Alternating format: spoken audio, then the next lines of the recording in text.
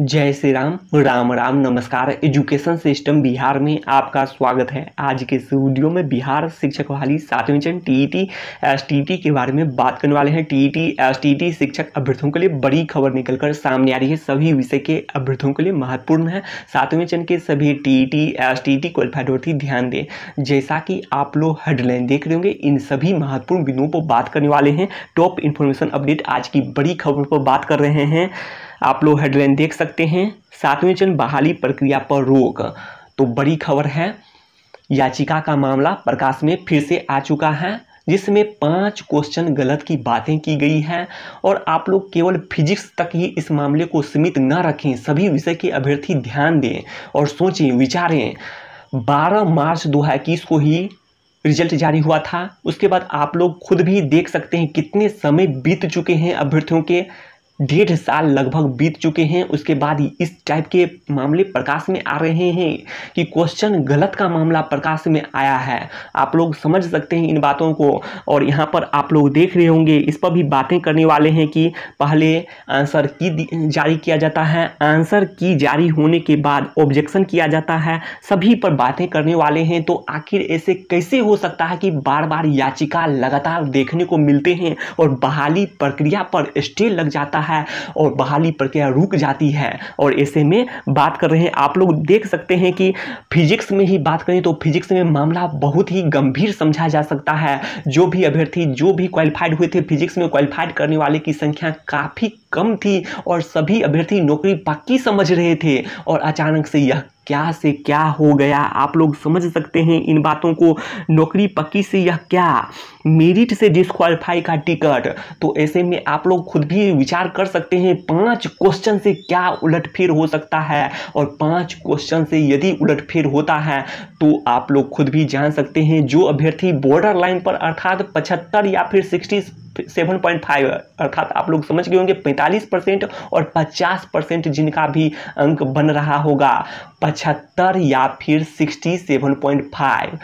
जो border line पर होंगे और पाँच क्वेश्चन आगे पीछे होने से क्या से क्या हो सकता है? और ऐसे में बड़ा, एक बार बड़ा उलट फिर देखने को मिल सकता है। और इस बात को लेकर जो बातें पहले हुई थी, जो 21 जून को 21 जून दो को फिर से दोबारा रिज़ल्ट जारी किया गया उसके बाद मेरिट लिस्ट और नोट इन मेरिट लिस्ट दो भागों में बांटा गया। उसके बाद देखा गया जिस प्रकार से अभ्यर्थी सामने आए, अपनी बातों को रखने लगे और लगातार इस टाइप का मामला फिर से पनपता हुआ दिखाई दे रहा है। एक बार फिर से इस टाइप का मामला पाँच क्वेश्चन गलत से क्या से क्या हो सकता है, आप लोग खुद भी विचार करके बता सकते हैं।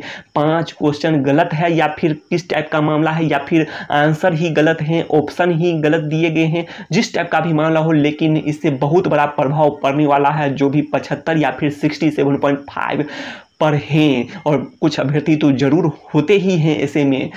आप लोग कुछ या अधिक से अधिक अभ्यर्थी नीचे, अर्थात पचहत्तर या फिर पचहत्तर अस्सी के बीच में ही होते हैं, या फिर सिक्सटी सेवन पॉइंट फाइव और बहत्तर के बीच में ही होते हैं और जो संख्या है, इसकी संख्या अधिक भी हो सकती है। तो आप लोग खुद भी विचार कर सकते हैं। तो बात कर लेते हैं एक बार यह क्या से क्या हो रहा है।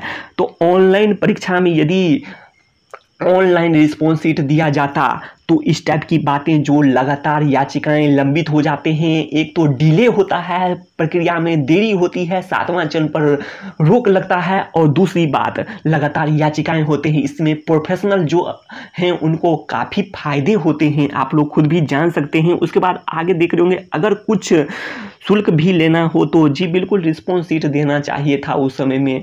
तो ये सभी याचिकाएँ नहीं होते। बी एस ई बी अध्यक्ष, यह क्या हो गया? आप लोग खुद भी जाने, समझें इन बातों को। अब आगे देख लेते हैं। अपर मुख्य सचिव जी बी एस बी अध्यक्ष, सभी को इस पर ध्यान देना चाहिए। यह मामला बहुत ही गंभीर बन चुका है। अब आगे देख लेते हैं प्रोविजनल आंसर की ऑब्जेक्शन जी, बिल्कुल, पहले प्रोविजनल आंसर की जारी होता है। उसके बाद अभ्यर्थी ऑब्जेक्शन करते हैं। उस क्वेश्चन के लिए जो भी क्वेश्चन पर अभ्यर्थी को संदेह होता है उस पर ऑब्जेक्शन करते हैं, उसके बाद अभ्यर्थी द्वारा दिया गया सभी ऑब्जेक्शन पर विचार किया जाना चाहिए। तो जी बिल्कुल बी एस ई बी अध्यक्ष का यह दायित्व बनता है कि जो भी ऑब्जेक्शन किया गया है, उस पर विचार करने के लिए प्रोसेस के लिए आगे बढ़ाना चाहिए था और उसके बाद फाइनल आंसर की जारी किया जाता है। अगर फाइनल आंसर की को फिर से अपडेट करना है बार बार अपडेट करना है, याचिका पर ध्यान देना है। तो ऐसे में उस समय में ही फाइनल आंसर की को भी पब्लिक किया जाता है और अभ्यर्थी देखते फिर से फाइनल आंसर की को भी रिवाइज किया जाता। है तो इस टाइप की बातें नहीं होती, लेकिन आज के समय में इस टाइप की बातें हो रही है और इससे कहीं ना कहीं सभी विषय के अभ्यर्थियों पर फ़र्क पड़ता है। तो जी बिल्कुल, सभी अभ्यर्थी मानसिक रूप से परेशान होते हैं, सभी विषय के अभ्यर्थी को ऐसे में परेशानी में डाल देना ही है। आप लोग समझ सकते हैं, सभी विषय के अभ्यर्थी ऐसे में परेशान होंगे। एक विषय में कुछ हेरा फेरी होता है और बार बार सर्टिफिकेट ही बदलता जाता है। बार बार सर्टिफिकेट ही बार बार बनता है। तो ऐसे में अभ्यर्थी तो परेशान होंगे ही।